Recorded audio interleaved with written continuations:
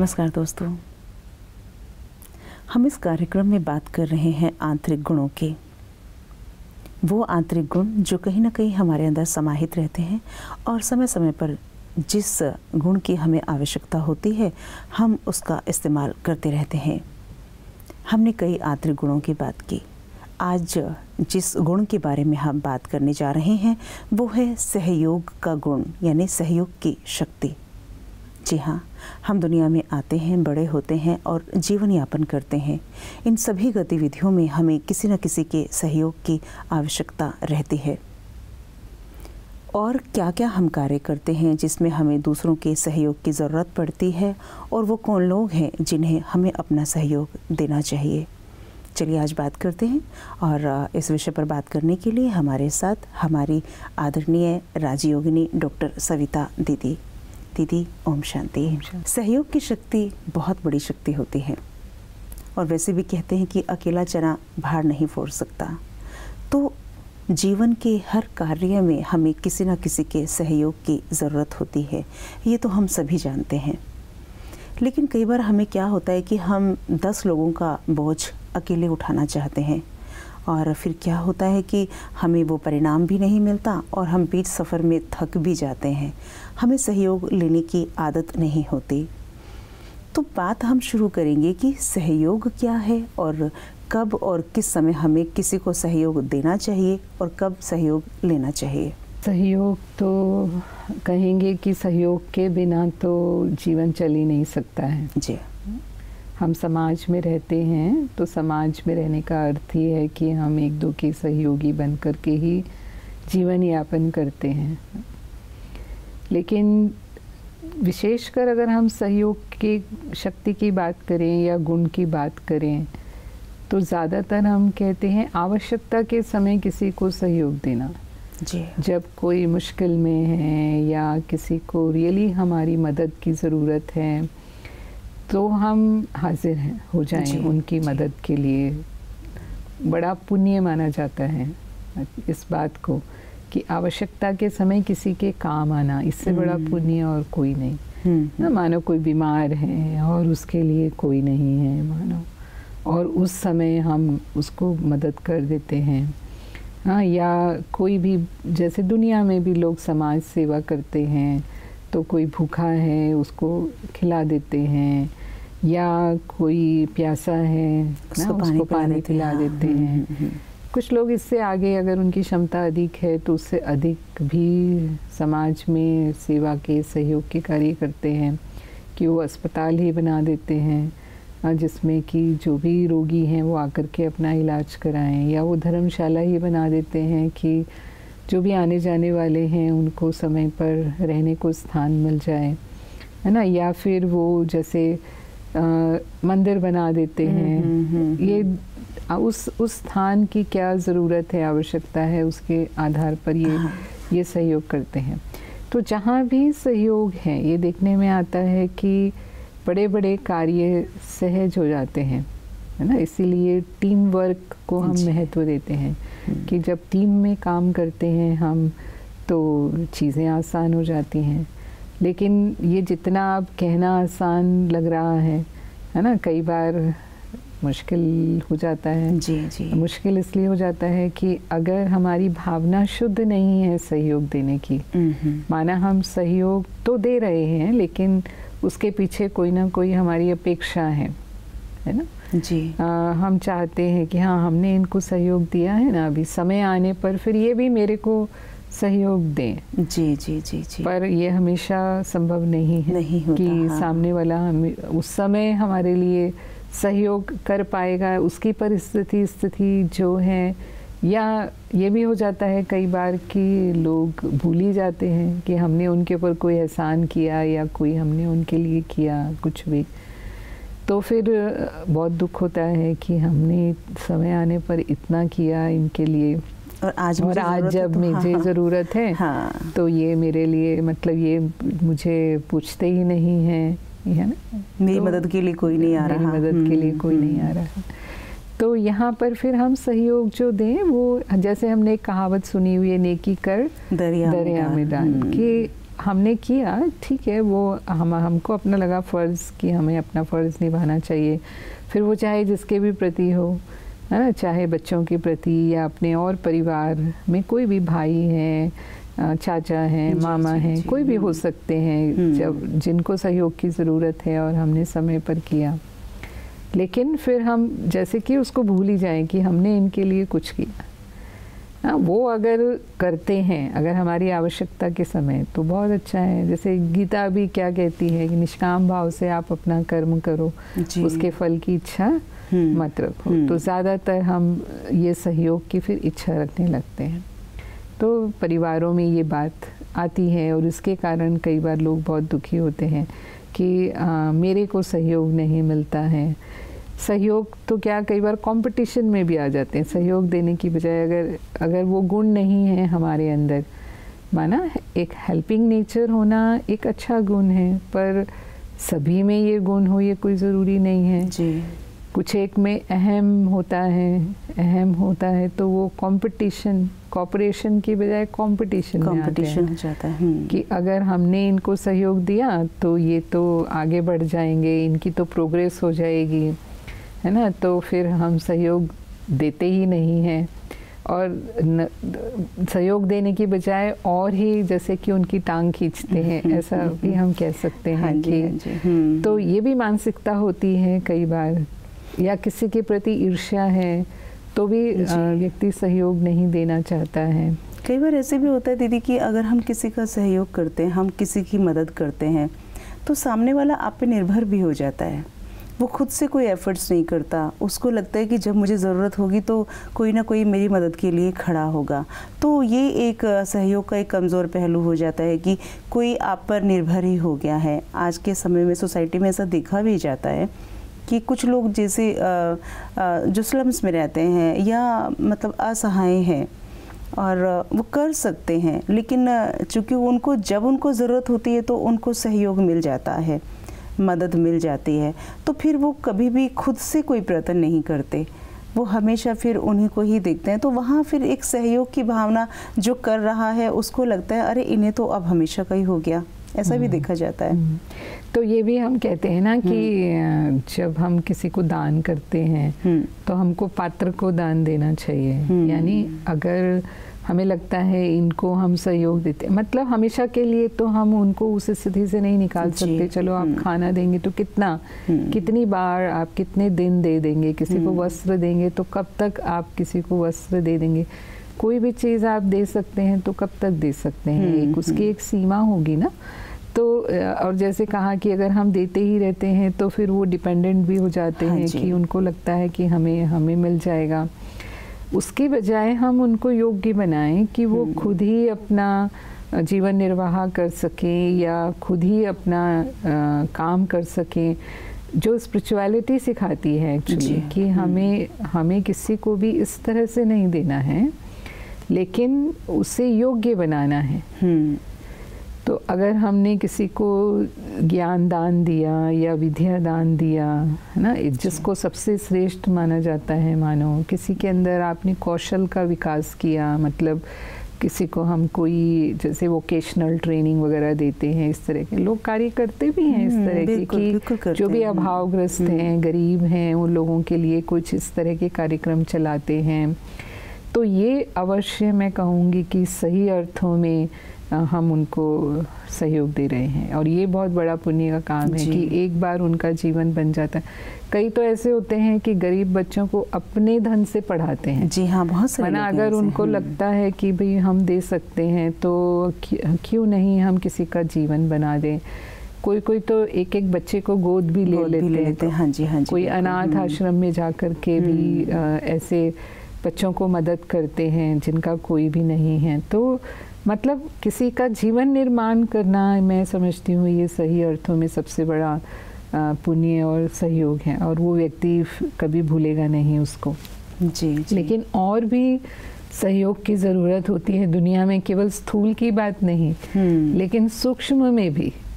मानो आ, कोई मन से दुखी है मन से अशांत है और उसके प्रति हमारी गुड विशेस हैं गुड फीलिंग्स हैं हम्म। है ना? और वो हम भले हम दूर बैठे हैं ना? कई बार होता है कि ज़रूरी नहीं है कि हम उनके पास ही हैं लेकिन हमें पता है कि किसी कारण से उनकी मनस्थिति आजकल ठीक नहीं है और हम दूर बैठे भी उनके प्रति पीसफुल वाइब्रेशन सेंड करते हैं है ना? हम इसको कहेंगे कि हम उनको मन सा सहयोग दे रहे हैं अपने मन से हम उनको सहयोग दे रहे हैं।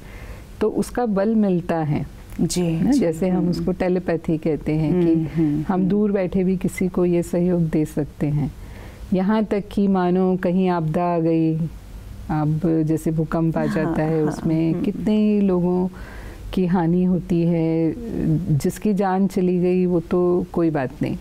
ना वो तो चले ही गए लेकिन जो रह गए और जिनके संबंधी चले गए वो कितना मानसिक रूप से दुखी होते हैं उस समय में तो उनको स्थूल रूप से सहायता देने वाले तो बहुत होते हैं उनके लिए वस्त्र देने वाले उनके लिए दवाइयाँ देने वाले और जो भी आवश्यकता। है हम्म, हम्म। ना उनके लिए शेल्टर होम बनाने वाले ना जी। जिसको हम शरणार्थी शिविर कहते हैं वो हम्म, सब हम्म। तो बहुत करते हैं लेकिन उनको जो हिम्मत चाहिए जो आशा चाहिए हाँ। माना जो एक उनका जो दुख है मन का दुख है उस वो उनका मन का दुख दूर होकर के वो अपने अंदर वो उत्साह वो खुशी महसूस करें हाँ, शक्ति हाँ, महसूस हम्म। करें वो तो नहीं दे पाते हैं हाँ, तो हाँ। फिर अगर हम ये सहयोग करते हैं उस समय बहुत सब तो वहाँ नहीं पहुँच। पाते तो हम हम्म। दूर बैठे भी ऐसी आत्माओं के लिए भी खासकर मेडिटेशन के समय हम इस तरह के वाइब्रेशन जो हैं वो इस तरह की शक्तियाँ उन आत्माओं के प्रति परमात्मा से लेकर के हम उनके सहयोगी बन सकते हैं कहाँ भी जैसे युद्ध भी होता है हम्म, कहाँ युद्ध हो हम्म। रहा है तो युद्ध में भी कितना होता है कहाँ कोई भी खासकर तो प्राकृतिक आपदा के समय ही ऐसे बहुत अधिक नुकसान होता है उस समय जो भी हमें मालूम पड़ता है तो ये हम्म। हमारा अगर हम इस कर्तव्य का भी पालन कर पाते हैं लेकिन तभी कर पाएँगे जब हमारे मन की स्थिति इतनी शक्तिशाली हो। शक्तिशाली होगी हाँ। है ना? अगर हम्म। हम खुद ही शक्तिशाली नहीं हैं खुद ही अशांत हैं तो फिर कहाँ हम किसी को इस तरह से फिर उसका दान कर पाएँगे? जी जी और वो भी तो अपने ही भाई बहन है उनको फिर मुख्य धारा में लेके आना हम सबका फ़र्ज़ बन जाता है। अब जैसे कई बार हम देखते हैं कि आ, कुछ बहनें ऐसे परिवारों में चली जाती हैं जिनकी आर्थिक स्थिति ज़्यादा अच्छी नहीं है। तो कई बार उनके परिवार वालों से ऐसी उम्मीद की जाती है कि आप हमें सहयोग करें।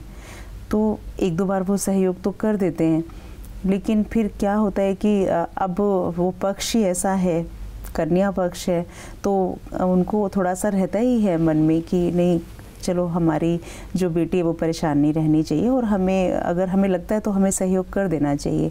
तो एक दो बार वो सहयोग कर देते हैं। लेकिन बहुत ज़्यादा अगर हम देखते हैं, बहुत सारे केस में देखते हैं कि जो वर पक्ष है वो फिर उन पर निर्भर ही हो जाते हैं। वो उनसे हर बार सहयोग की आ, मतलब रखते हैं उम्मीद कि वो हमेशा हमें सहयोग करें। तो यहाँ भी मैं थोड़ा सा देखती हूँ कि उसको थोड़ा सा मतलब एक्सप्लेन करने की ज़रूरत है कि आप कितना सहयोग करें और कितना सहयोग हमें लेना चाहिए। है ना? यहाँ भी थोड़ा सा आत्मसम्मान की बात होनी चाहिए। कुछ ऐसे आपातकालीन स्थिति जैसे बोलते हैं ना कि हम्म। कोई इमरजेंसी है। और आ, बिना सहयोग के हमारा काम नहीं चलेगा तो वो अलग बात है कि उस स्थिति में हमने कोई सहयोग लिया। लेकिन जैसे कि आ, ये धन ऐसी चीज़ है ना कि फिर कहीं ना कहीं इंसान लालच में भी आ जाता है कि आ, हम इनसे कहते हैं और ये हमें दे देते हैं। तो हम्म। जब हमें आ, मुफ़्त में कोई चीज़ मिलती है तो फिर उसका निश्चित है कि लोग फ़ायदा उठाते हैं। तो ये ये जब मानसिकता है तो फिर अगर हमें ऐसा लगता है कि नहीं हम भी तो समझ सकते हैं ना कि जी, इनको जी, कितनी हाँ। आवश्यकता हम्म, है या नहीं हम्म। है तो अगर हमें लगता है कि ऐसी अब इनको कोई आवश्यकता नहीं है और ऐसे ही ये हमसे लेने की कोशिश कर रहे हैं तो फिर हम आ, अपने युक्ति से मतलब एक हम्म। जैसे भी जिस विधि से हम उसको मना कर सकते हैं करना मना चाहिए। कर देना हम्म, चाहिए। क्योंकि वहाँ से लिया गया धन कोई लौटाता भी नहीं है वापस हाँ है? वो तो भी एक बात है। आप समीप संबंधों में हाँ। कुछ लेन देन करते हैं तो हम्म। ज़्यादातर वही अपेक्षा करते हैं कि आ, ये तो बस हमने ले लिया हमारा अधिकार है जी है जी हाँ तो इसलिए उसको फिर वो वापस करने का तो सोचते ही नहीं है। तो जैसा कि हम देखते हैं कि अगर हम बात करें प्रजापिता ब्रह्मा कुमारी विश्वविद्यालय की तो यहाँ भी हम देखते हैं कि जो सहयोग की भावना है बहुत ज़्यादा है। जितने भी लोग बाहर से आते हैं, समाज से यहाँ आते हैं, संस्था में और संस्था के जो कार्य देखते हैं तो एक एक्चुअल में जो सहयोग होना चाहिए वो यहाँ देखने को मिलता है कि कोई किसी को कुछ कहता नहीं है करने के लिए सब अपने आप से कार्य करते चले जाते हैं। तो ये जो इस तरह की एक आपने एक परंपरा जो बनाई है वो उसके पीछे क्या है ताकि समाज समाज को भी एक अच्छा मैसेज जाए कि हाँ इस तरह से हमें समाज में रहना चाहिए। आ, सबसे सबसे ज़्यादा तो ये सवाल पूछते हैं कि इतना बड़ा ये विद्यालय चलता हाँ। है क्योंकि ये अंतर्राष्ट्रीय विश्वविद्यालय है। जी जी। करीब 140 देशों में इसके सेवा केंद्र हैं। हम्म। और यहाँ हेडक्वार्टर में ही हज़ारों का आना जाना हर हर ग्रुप में कई हज़ार भाई बहनें यहाँ आते जाते हैं। जैसे हम्म, कहा कि बिना कहे जो है वो कार्य अपने आप होता रहता है। मतलब पता ही नहीं चलता कि कार्य हम्म, कैसे हो हम्म, रहा हम्म, है। हम्म, हम्म, तो फिर ये भी पूछते हैं कि खर्चा कैसे चलता हम्म। है इसका हाँ ये प्रश्न तो- रहता है हम्म हम्म तो निश्चित है कि हम्म। इतने जब इस ईश्वरीय विश्वविद्यालय के विद्यार्थी हैं और जब वो यहाँ की शिक्षाओं से लाभ लेते हैं उनके जीवन में परिवर्तन आता है जीवन में सादगी आ जाती है पहले जो वो बहुत व्यर्थ खर्चे करते थे वो सब खर्चे उनके समाप्त हो जाते हैं। हाँ। तो फिर वो सोचते हैं कि जैसे हमारे जीवन में हमें मदद मिली ना ऐसे ही औरों के जीवन को में भी उसका लाभ मिलना चाहिए तो वो खुद दिल से सहयोग करते हैं। माना इस ईश्वरीय विश्वविद्यालय में दान लेने की परंपरा नहीं है। अच्छा हम्म, लेकिन सही स्वेच्छा से सहयोग जो जितना अपना कंट्रीब्यूशन देना चाहता है वो यहाँ देते हैं। तो वो सहयोग देते हैं और उस सहयोग से परमात्मा का ये कार्य बहुत सहज चलता है। तो जैसे हमने कहा कि सहयोग जहाँ है वहाँ बड़े बड़े कार्य भी सहज हम्म, संभव हो जाते जी, हैं। जी, और जी। दूसरी यहाँ जो भावना है वो परिवार की भावना है। हम्म, जी क्योंकि जी, जी। ये पूरा विश्व एक परिवार है। जो शिव बाबा शिक्षा देते हैं परमात्मा शिक्षा देते हैं कि हम सब आत्माएँ हैं और हम सब आत्माएँ अपने एक घर परम धाम से सृष्टि पर आए हैं और आत्मा रूप में फिर हम सब भाई भाई हैं। फिर चाहे हम किसी भी धर्म जाति भाषा देश के हैं उससे कोई फ़र्क नहीं पड़ता लेकिन हम जो हैं वो एक परिवार हैं। जैसे हमारी संस्कृति में भी माना गया कि वसुधैव कुटुंबकम। जी। ना पूरी वसुधा ये पूरा विश्व एक, एक परिवार परिवार है। हम्म, तो फिर हम ये नहीं मानते कि ये मेरा परिवार चार दस जो मेंबर हैं वही मेरे परिवार हैं इनको ही मुझे सहयोग देना है या जो भी इनके लिए ही मुझे करना है नहीं। लेकिन पूरे विश्व की आत्माएँ ही हमारा परिवार है और इन किसी को भी अगर मेरे सहयोग की ज़रूरत है और हम दे सकते हैं तो फिर हमें सहयोग देना है। कोई अपने तन से कोई मन से कोई धन, धन से, से, है ना? हम्म, जैसे जैसे जो दे सकता है। जी, कोई जी। समय दे सकते हैं हाँ। तो अपना समय देते हैं अपना तन लगाते हैं यानी जो भी ऐसी सेवाएँ हैं जो कि जिसे हम स्थूल कार्य कहते हैं तो वो कार्य के लिए अपना समय निकालते हैं और सहयोग देते हैं। कुछ लोग समय नहीं दे सकते धन है उनके पास धन से सहयोग दे सकते हैं। कार्य चल रहा है भगवान का तो लक्ष्य है विश्व का परिवर्तन करना इस कलयुग को सतयुग में बदलना। बदलना। तो हम्म, इतना बड़ा कार्य ये सब आत्माओं के सहयोग से ही संभव। हो रहा है। हम्म, और हम्म। होगा। कितनी सुंदर भावना है दीदी ये और मैं समझती हूँ कि जिस तरह से आपने कहा कि पूरा विश्व एक परिवार है इस भावना को लेकर आप यहाँ इस संस्था में रहते हैं और कितना सुंदर तरीके से सब काम हो रहा है। इतनी सुंदर जानकारी के लिए दीदी आपका बहुत बहुत धन्यवाद। ओम शांति। दोस्तों जैसे कि प्रजापिता ब्रह्मा कुमारी विश्वविद्यालय में सभी लोग एक परिवार की भांति रहते हैं कोई काम कर कर किसी पर कोई एहसान नहीं जताता। सब सहयोग की भावना से काम कर रहे हैं। उसी प्रकार ये विश्व पूरा हमारा एक परिवार है और जब हम परिवार में रहते हैं तो सहयोग के साथ कार्य करते हैं और वो जो कार्य चार दिन में होने वाला होता है वो दो दिन में या फिर एक दिन में हो जाता है। और जब सहयोग के साथ हम सबको साथ लेकर चलते हैं तो हम सभी इकट्ठे आगे बढ़ते हैं। और जल्दी मंजिल तक पहुँच जाते हैं। तो सहयोग की भावना बहुत ज़रूरी है। हम सभी में सहयोग की भावना होना चाहिए। एक नए विषय के साथ फिर आपके सामने हाजिर होंगे। तब तक के लिए दीजिए इजाज़त। नमस्कार। ओम शांति।